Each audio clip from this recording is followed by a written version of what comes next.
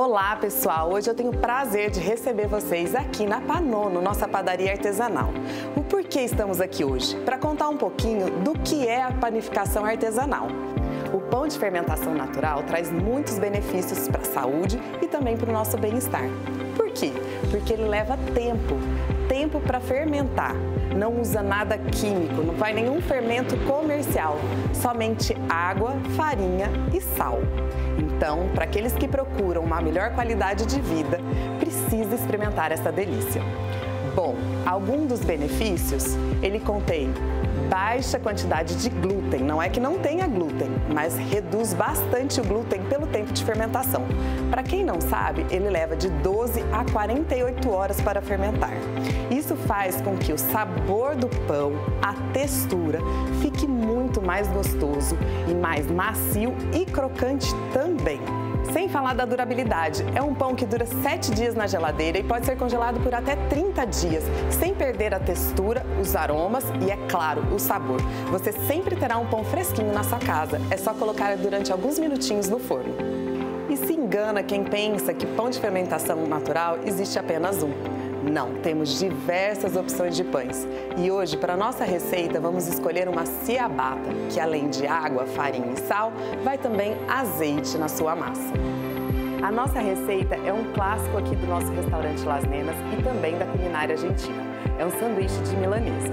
Para iniciar, vamos empanar o nosso bife, que pode ser de alcatra, mignon, colchão mole, enfim, o que ficar melhor para você. Bom, iniciamos empanando o bife a gente passa primeiro pela farinha de trigo, em seguida pelo ovo batido e depois pela farinha de rosca ou uma farinha panko. Depois de empanar o bife, a gente leva ele para fritura sob imersão. Agora nós vamos iniciar a montagem do nosso sanduíche. Como eu havia dito, a gente vai usar o pão ciabatta. Eu vou cortar ele agora para mostrar para vocês a crocância, como eu havia dito, a textura, e mostrar como ele é lindo por dentro. Esses alvéolos, que a gente fala que são essas, esses furinhos no pão, mostra a fermentação do pão, o quanto que o pão foi bem fermentado.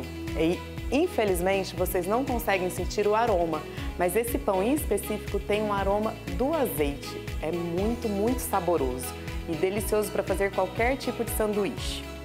O nosso bife já está empanado e frito. A gente vai colocar também o queijo.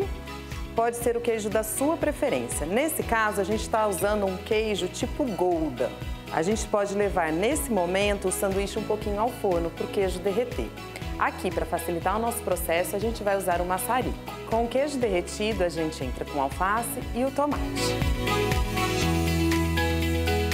E é claro que não pode faltar um molhinho especial.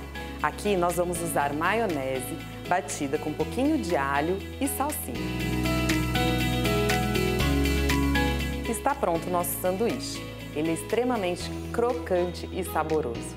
Eu espero que vocês gostem, façam em casa, experimente, que vale a pena.